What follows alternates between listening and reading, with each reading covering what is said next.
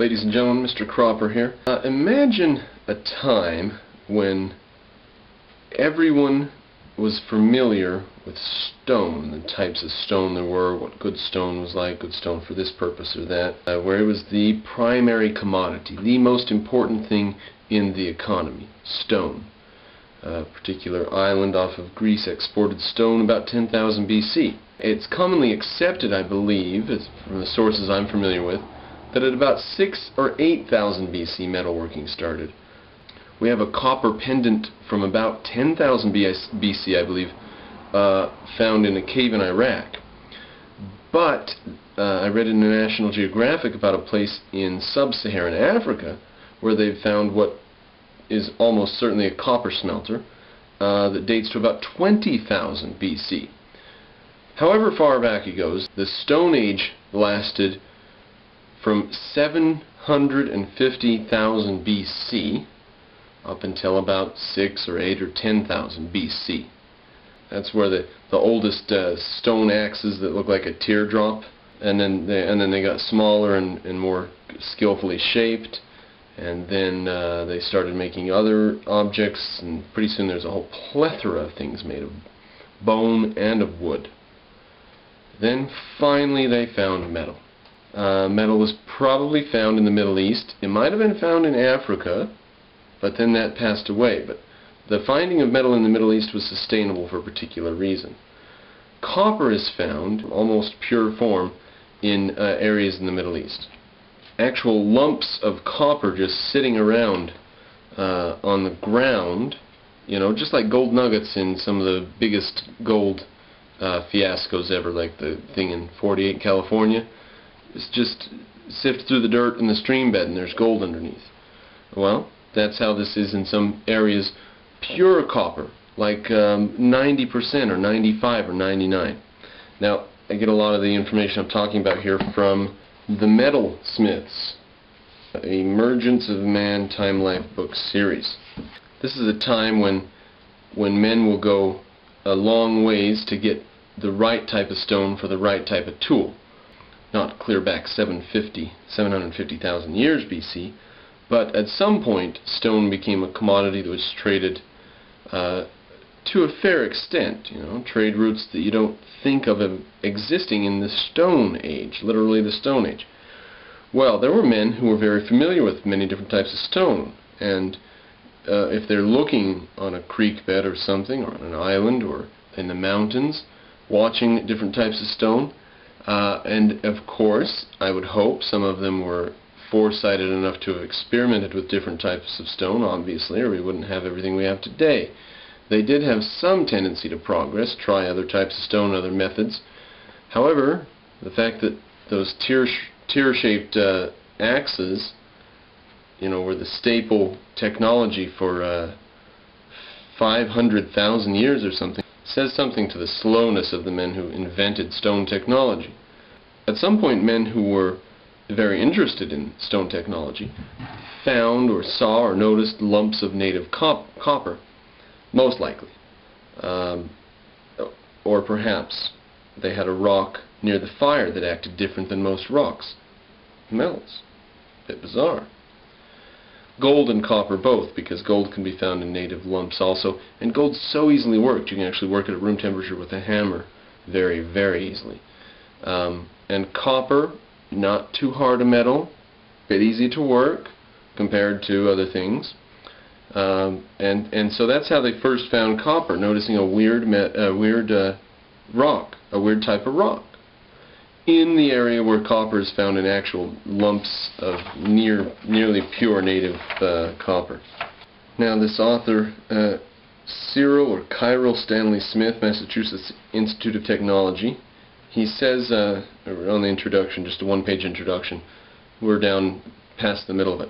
He says, I myself learned the language as a metallurgist, the language of metal, as a metallurgist in, in industry when purely as a hobby I began to look into the history of my profession you know, a profession ought to be taught by its history. But anyways, I soon found that though the history stretched back over many centuries, the earliest records could not be found in books but only in museums in the form of art objects.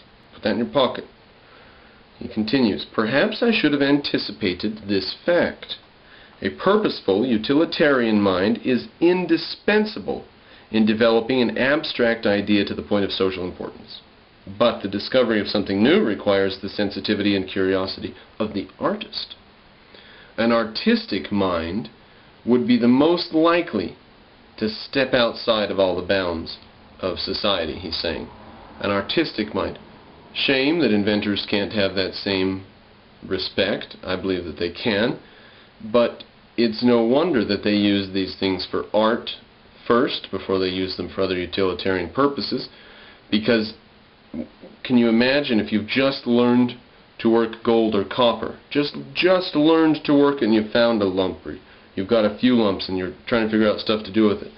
You can make all kinds of stuff and the status of wearing something that you've made showing people this thing that you made is very different from saying, well, what kind of knife could we make with this copper blade?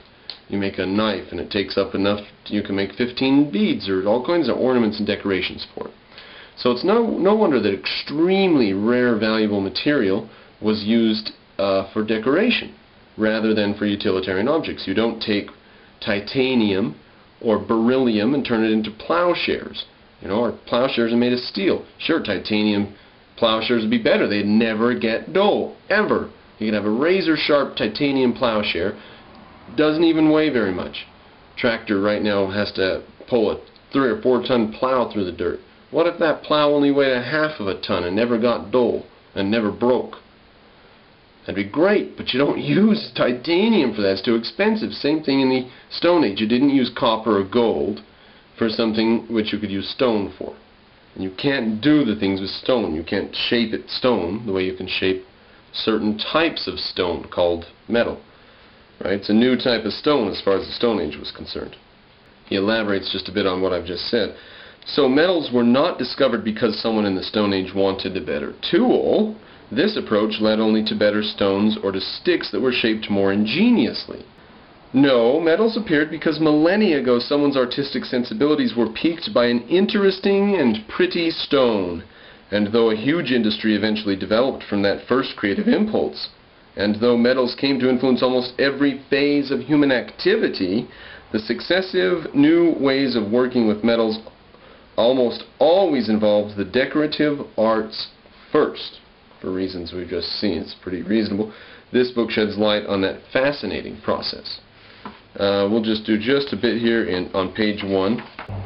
Now for this case to hold true that uh, the metal was first used in the decorative arts because it was a specialized skill, you don't use it utilitarianly at first, you use it uh, in a specific and beautiful way. So the first things uh, pique your aesthetic sense, right? They are pleasurable to you in an artistic way. And then those skills can be adapted to usefulness. Is this true with pottery? How did we develop pottery? Well, I read from page 1, quoting Professor, well, page 9, page 1 of chapter 1.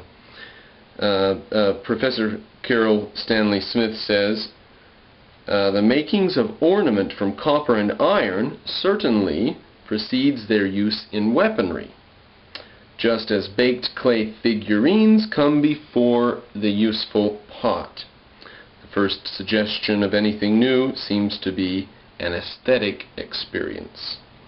So, there we have it. I put a little note out to the side. Productivity has its roots in creativity. The most creative person, an artist, would lead in the future to the things that are most productive. Look at the most creative men in the Renaissance and the productivity we glean from their methods, Bacon and Newton and Galileo. And look at the, pr the productivity uh, for making ornaments of gold and copper. Very pretty, shiny stuff. Shines. Now, copper gets a bit dull and green after a while. Gold never tarnishes. Seems magical if you're ignorant. That's why it has uh, acquired such heights of value in the modern world uh, and for all of history because it doesn't tarnish. It is absolutely inert. Anyways, that's where metal came from. Thought you might want an update on that.